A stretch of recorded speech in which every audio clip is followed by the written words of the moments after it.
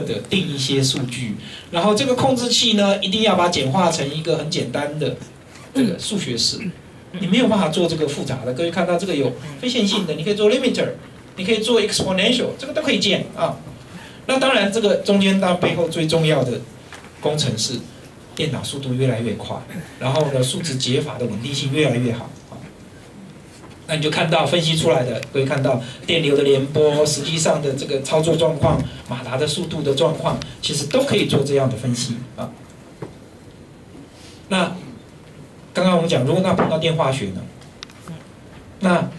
其实这一类的所谓的城市库啊、元件库啊，如果对大部分的厂商来讲，尤其软体厂要建都不是困难，困难是什么？困难是建好之后，这些元件是你可以去做二次的修正，建自己的 library。啊，那当然在很多这个软体里面都有基本的 library 哈，那你就可以根据这个 library，各位看到像这个，呃，我们找一个电池出来，你就发现呢，电池的 model 大概建的最完整的是在这个美国科罗拉多啊那边有个国家研究机构，他们建了一个 chemical chemical 的这个 battery 的的的 library。可是那个 library 呢，只能适合他用。